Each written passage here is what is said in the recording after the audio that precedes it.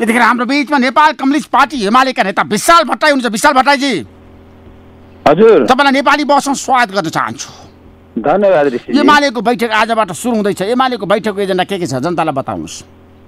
Nepal communist party एमालेको केन्द्रीय सचिवालयको बैठक आजबाट काठमाडौँमा प्रारम्भ हुन गइरहेको छ र यो बैठकले मूलत हालै सम्पन्न भएको स्थानीय तहको निर्वाचनको ठोस समीक्षा गर्नुका साथै अब आगामी दिनमा सम्पन्न हुन गइरहेका हुने सङ्घीय र प्रादेशिक निर्वाचनको तयारीमा लाग्ने र सँगसँगै पार्टीको आन्तरिक व्यवस्थापनमा लाग्ने देशभरि आफ्नो सङ्गठनलाई सुदृढ गर्ने लगायतका काममा यो बैठकले छलफल प्रारम्भ गर्छ र यसको लगत्तै पार्टीको पोलिट ब्युरो केन्द्रीय कमिटीको बैठक पनि बस्छ।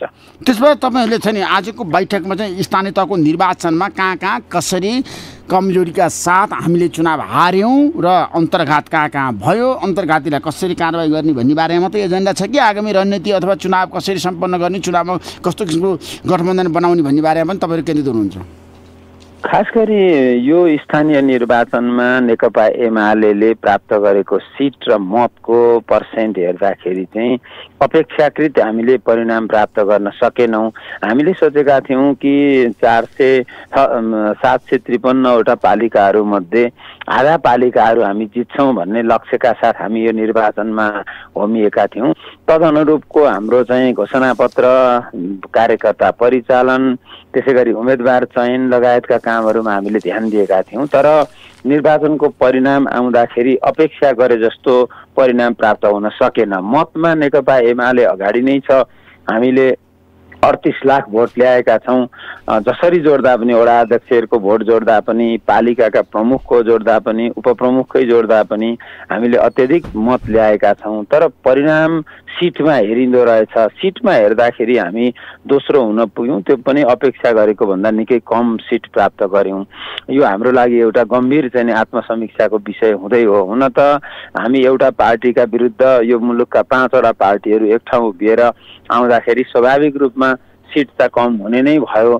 सिट कम भयो नै त तर त्यसका बावजुद पनि हामीले प्राप्त गरेको त्यो मतलाई अब कसरी सुरक्षित गर्दै अरू व्यापक जनमतलाई थप गरेर आउने सङ्घीय र स्थानीय तहको निर्वाचनमा नेकपा एमाले बहुमत प्राप्त गर्ने गरी निर्वाचन लड्ने भन्ने कुरामा अब हाम्रो ध्यान केन्द्रित हुन्छ र त्यसका लागि चाहिँ हामी सचिवालयको बैठक सम्पन्न हुन साथ त्यसले निकालेका निष्कर्ष सहित हामी त्योभन्दा माथिल्लो तहका केन्द्रीय कमिटी पोलिट ब्युरो लगायतको बैठक चाहिँ बस्छौँ होइन अब तपाईँहरू छन् स्थानीय तहको निर्वाचनमा जसरी खुम्चिनुभयो दोस्रो शक्ति बन्नुभयो त्यसपछि तपाईँहरूको बैठक भइरहेछ। आजबाट सचिवालयको बैठक जारी छ। र सचिवालयको बैठकमा स्थानीय तहको निर्वाचनको समीक्षा र आगामी निर्वाचनमा छ नि कसरी जाने भन्ने बारेमा मात्रै केन्द्रित छ कि जस्तो गठबन्धन तोड्ने गठबन्धन भत्काउने र प्रचण्ड र माधवमा नेपालसँग संवाद सुरु गर्ने सम्भावना कति छ? स्वाभाविक रूपमा अब हाम्रा विरुद्धमा पाँच पाँचवटा राजनीतिक पार्टीहरू कतिपय ठाउँमा त छवटा सातवटा पनि स्थानीय स्तरका पार्टीहरू पनि मिलेर निर्वाचनमा प्रतिस्पर्धा गरे। यसमा यो यो प्रतिस्पर्धा हाम्रा विरुद्ध गर्नुको मूल तात्पर्य भनेको नेकपा एमालेसँग एक्लै एक्लै लड्न सम्भव छैन एक्लै एक्लै हामी चुनाव जित्दैनौँ भन्ने हिसाबले नै उहाँहरू हाम्रा विरुद्ध एकगठ भएर लड्नु भएको हो। यस्तो बेलामा सबलाई एकातिर एकातिर एउटा कितामा उभिन दिएर हामी भिन्दै चुनाव लड्दाखेरि परिणाम अपेक्षाकृत प्राप्त हुन सकेन त्यो स्वाभाविक हामीले देखेकै कुरा हो। तर यसको मतलब के हो त भने निर्वाचनमा अब अरू सब एकातिर हुँदा हामी पराजित हुन्छौँ भन्ने कुरा होइन किनभने स्थानीय तहमा भोट दिने भोटको प्याटर्न र सङ्घीय र प्रादेशिक सरकार निर्माणको भोटको प्याटर्न फरक पर्छ। दुई हजार उन्चास सालमा देशभरि त्यो बेलाको स्थानीय निकायको निर्वाचनमा नेपाली काङ्ग्रेसले चुनाव जित्यो। पचहत्तर मध्ये झन्डै सत्तरी जिल्लामा जित्यो। जिल्ला विकास समिति बनाउने गरी जितेको थियो। तर त्यसको डेढ वर्षपछि एकाउन्न सालमा भएको नेकपा त्यो बेलाको संसदीय चुनावमा नेकपा एमाले सबभन्दा ठुलो पार्टीको रूपमा आएर सरकारै बनाएको थियो। र हामीले मनमोहन अधिकारी नेतृत्वको त्यो लोकप्रिय सरकार नौ महिना चलाउन पाएका थियौँ। भनेपछि स्थानीयमा दिने भोट र त्यसपछि सङ्घीय सरकार निर्माणको भोटको कुरामा धेरै कुरा फरक पर्छ। त्यसकारण हामी एक्लै पनि चुनाव लड्दाखेरि अहिलेकै स्थितिमा पनि हामीले आन्तरिक व्यवस्थापन गर्न सक्दा राम्रोसँगले चाहिँ हामीले चुनाव परिचालन गर्दा कतिला उम्मेदवारहरू तय गर्दा हामी चुनाव जित्न सक्छौँ भन्ने हाम्रो आकलन छ। तर त्यसका बावजुद पनि त्यो संशय र दुविधा हट्नका लागि यदि कुनै राजनीतिक पार्टीहरू नेकपा एमालेसँग सहकार्य गर्नका लागि तयार छन् भने त्यस्तो शक्तिहरूको पनि हामी खोजी चाहिँ गर्छौँ।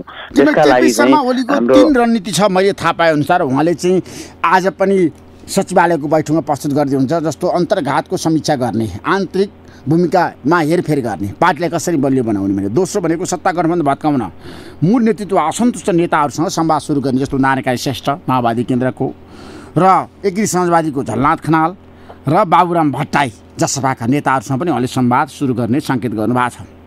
त्यो कति सम्भव छ र यही गठबन्धन कायम रहे। अब सरकार बाहिर रहेका शक्तिहरूसँग तालमेल गर्ने जस्तो रापपासँग रापपा नेपालसँग लोसपासँग कति सम्भव छ? सञ्चार माध्यममा मैले पनि नेकपा एमालेका केपी ओलीका रणनीतिहरू भनेर चाहिँ पढ्दै थिएँ सुन्दै पनि थिएँ। त्यो उहाँहरूको आफ्नो एउटा आँखालको आकलन पनि हो। तर एउटा कुरो के हो भन्दाखेरि कुनै व्यक्ति विशेषसँग कुनै पार्टीसँग भन्दा पनि हामीले अहिलेको यो गठबन्धन जसले नेकपा एमालेका विरुद्धमा चाहिँ हदैसम्मको प्रयास गरेर एमालेलाई हराउने मात्रै लक्ष्य राखेर चाहिँ अगाडि बढ्यो। संसारमा कहीँ पनि गठबन्धनले मुलुक निर्माण गरेको इतिहास छैन। खालि कसैलाई पराजित गर्न लक्ष्य राखेर गन्तव्य त्यही राखेर अगाडि बढ्न त सकिएला।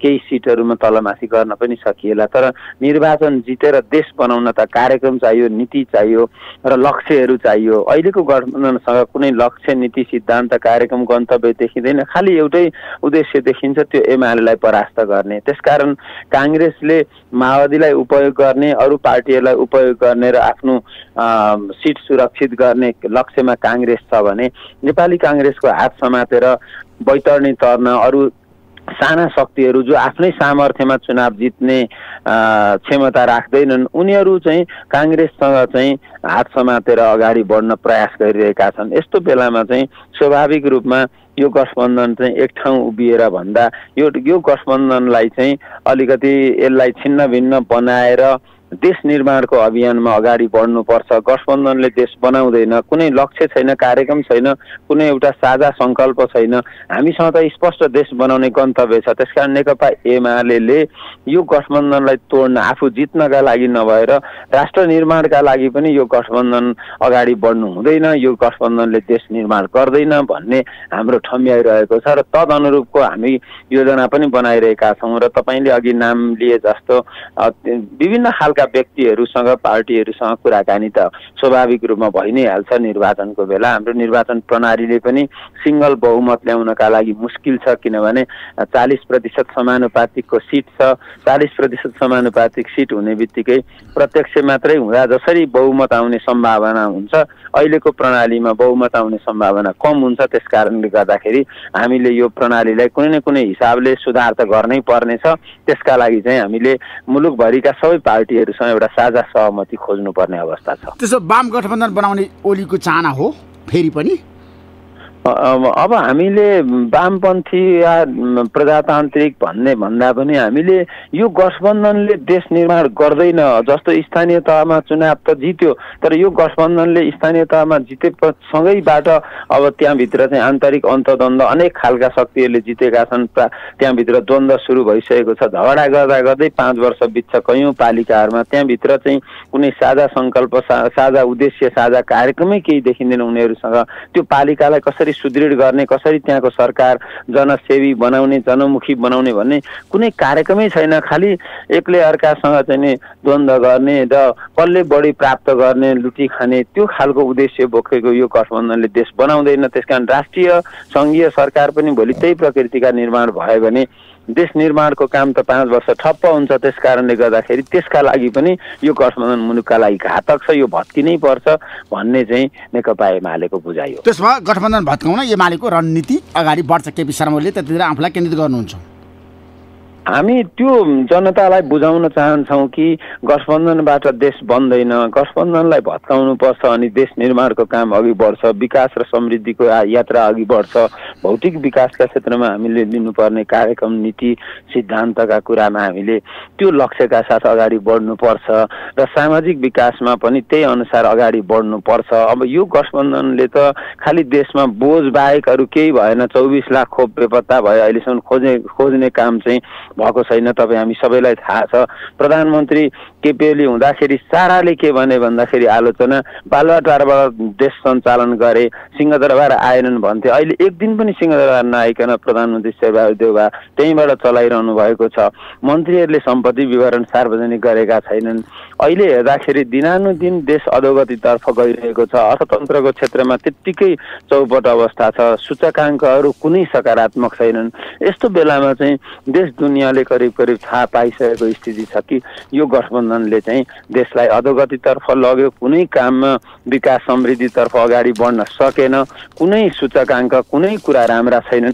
यस्तो अवस्थामा चाहिँ गठबन्धनबाट होइन एउटा बलियो राष्ट्रिय शक्तिको माध्यमबाट देश निर्माण गर्नुपर्छ भन्ने नेकपा एमालेको ठम्याइयो र त्यो एजेन्डालाई लिएर हामी अगाडि बढ्छौँ। Thank you so much Vishal भट्टराईजी। समय दिनुभयो नेपाली बहसलाई तपाईँलाई म धेरै धेरै धन्यवाद दिन चाहन्छु। थ्याङ्क यू सो मच धन्यवाद यो नेपाली रेडियो